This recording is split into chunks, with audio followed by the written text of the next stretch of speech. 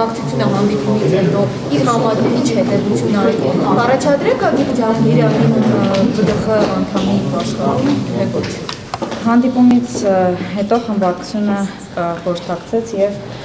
որոշեց առաջադրել Լավիկ Ջանգյանին որպես ԲԴԽ տեխնացու։ Ինչը հատկապես տպավորեց ձեզ այդ կան բազմաթիվ հակասություններ, տարատեսակ մեկնաբանություններ Ջանգիրյանի ներկայի, հա, անցյալի հետ նրա դիրքորոշումների, զինդադախած լինելու ընթացքում նրա կատարած որ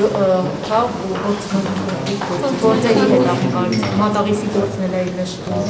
տարիքային իդեպ նաև հարցներ բարձրացին։ Շնորհակալություն հարցերի համար։ Նախ իհարկե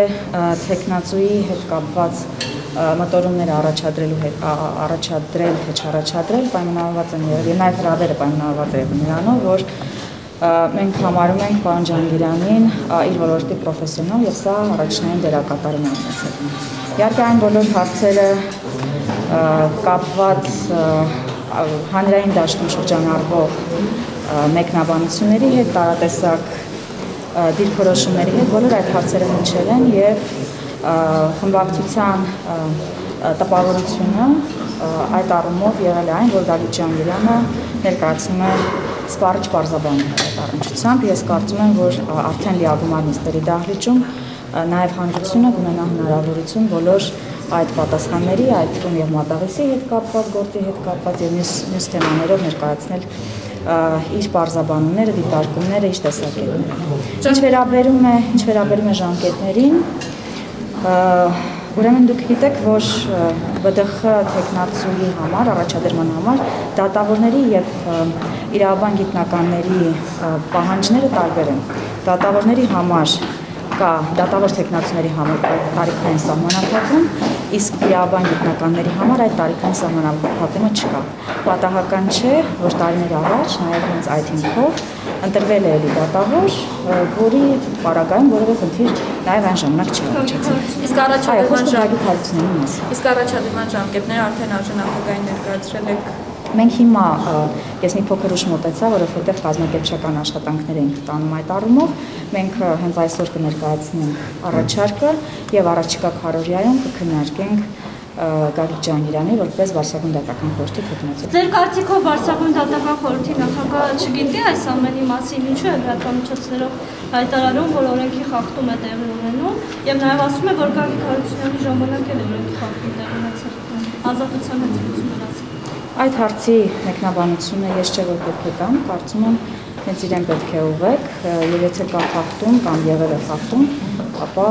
նաև այդ բարձաբանումը դարձյալ պետք է տային անձը, ում գրված է խոսքը։ Լսում եմ ձեզ։ Տիկին Մակոնց դուք աշկանդվածություն չունեք, զուտային հանգամանքով պայմանավորված, որ դուք մշտապես նախկինների դեմ, ասպես ասենք, հատուկ վերաբերմունք եւ տրամադրվածություն եք ունեցել եւ Գագիկ Ջահանգիրյանը հենց նախկիներից մեկն է եւ մի քանի իշխանության հետ համագործակցած ըստ էության։ Չասենք նաեւ շատ հաճախ մամուլում շրջանառվել է նրա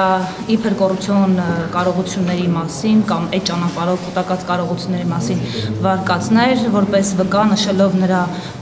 առանց աշխատելու շքեղ կյանքը, նրա տունը 3 հարկանի մոնումենտում կառուցված եւ այլն։ Կարող էր պետական աշխատողը այնել կառուցվող Հայաստանի 3-րդ հանրապետության շրջանում 90-ականներից մինչև մի քանի տարի հետո ունենալ 3 հարկանի շքեղ շենք մոնումենտում։ Նախ պատասխանեմ ձեր առաջին հարցին, ոչ որևէ կաշկանդվածություն չունենք ներկայացնելու Գագիկ Ջանգիրյանին, իսկ ինչ վերաբերում է մյուս հարցի մյուս հատվածին, ապա տեխնացուն պետք է համապատասխանի բարձրագույն դատական խորհրդի համար նախանշված տեխնացուի համար նախանշված բոլոր չափանիշներին, ինչին Գագիկ Ջանգիրյանը համապատասխանում է։ Մենք առաջնորդվում ենք հենց դրան։ Ես կարողությունների նկատի ունեի կասկածներ չեն հարուցում ձեզ մոտ, ողջամիտ կասկածներ չկան, ձեզ մոտ նրա կարողությունների հետ կապված պետական պաշտոնյան կարող էր այդպիսի կարողություններ դիզել բոլոր հարցերը, որոնք առնչվում են անձամբ Գագիկ Ջանգիրանին, ես կարծում եմ, ինքը կտա այդ հարցերի բարձրաբանում։ Տիկի Մակուց մտավախվեց խմբակցությունում այս որոշումը։ Այո, այո։ Տիկի Մակուց մտավախություններ չկա, որ իմ քայլի ծայրերը չեն բավարարի, քանի որ կա падգամավորներ, որ արդեն դուրս է եկել խմբակցությունից ու նաև շրջադառվում է, որ 16 падգամավորի հանդեպ ավստահություն կա։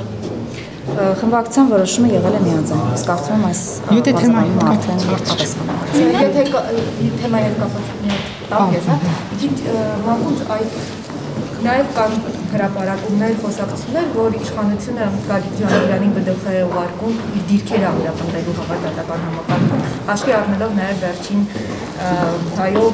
խումները ներական ԲԴԽ նախագահի եւ կառավարության Դուք գիտեք, որ բարձրագույն դատական խորհրդում արդեն տևական ժամանակ կար մեկ թափուր տեղ եւ հետո ավելացավ արդեն երկրորդ։ Եվ հետեւաբար դատական խորհրդի չափանիշները, տեխնացու չափանիշները հրաապարակային են եւ հանրային են եւ այդ չափանիշներին համապատասխանելու պարագայում խմբակցությունը կաշկանդված չէ որևէ տեխնացուի առաջադրել ինչով եւ առաջնորդ։ Ամեն դեպքում եթե կառավարությունից պնդում են իսկ կառավարության նաև ներկայացուցիչ իշխանության մաս եք նաև դուք, որ դատական իշխանությունը աշխատում է ի օգուտ նախկին իշխանության հիմա եւ նաև ոչ համաչափ վիճակներ է կայացնում։ Այս դեպքում Ջարգիրյանը կարող է հենց այդ միսիայով այնտեղ ուղարկվել։ Մենք նման խնդիր որևէ կերպ այս 2.5 տարիների ընթացքում մեր արժեք չենք դրել, ինչի վառ վկայություն են բազմաթիվ բազմաթիվ փաստեր կան դրա համար։ Մենք նման կարողություն ես ավարտեմ, որևէ նման խնդիր չի դրվում եւ չի կարող դրվել մեր իշխանության բարագայում։ Ես ասացի արդեն մենք ինչով ենք առաջնորդվում եւ հենց այդպես էլ շարժվում։ Ինչ եք ակնկալում, ինչ խնդիր պետք է լուծի ԲԴԽ-ում Գագիկ Ջանգիրյանը։ Ինչ հանձնարարությամբ եք դրան գործում ԲԴԽ։ Ակնկալիքները մենք չէ որ սահմանում ենք, կան չափանիշներ, որոնք եւ եւ գործառույթներ, որոնք բարձրագույն դատական խորհրդի անդամը պարտավոր է կատարել, եւ դա պայմանավորված չէ որևէ քաղաքական ուժի ակնկալիքներ։ Դե դուք եք առաջադրել դրա համար, դուք եք հրավիրել ինչու՞։ Խմբակցությունը, խմբակցությունը առաջադրել է, որովհետև իրավունք ունի առաջադրելու, հետեւաբար առաջադրել մի մի անց չի Ջանգիրյանը կողքից Գագիկ Ջանգիրյանը քաղաքական կուսակցության անդամ չէ Գագիկ Ջանգիրյանը երկար տարիներ աշխատել է երկար տարիներ աշխատել է դատական համակարգում եւ նորից պետք է ասեմ, որևէ խանգարող եւ կաշկանդող հանգամանք չէ։ ԲԴԽ-ում մյուս ազատ թափուր տևի համար կա արդեն տեխնացու քայլը չէ։ Մենք քննարկում ենք տարբեր տեխնացուներ, առաջիկայում կհանդիպենք նրանց հետ, խմբակցությունը երբ կկայացնի որոշում, անպայման իհարկե կտեղեկացնենք։ Չեմ բացառում, որ մյուս քարորիային եւս երկրորդ տեխնացուն առաջադրենք։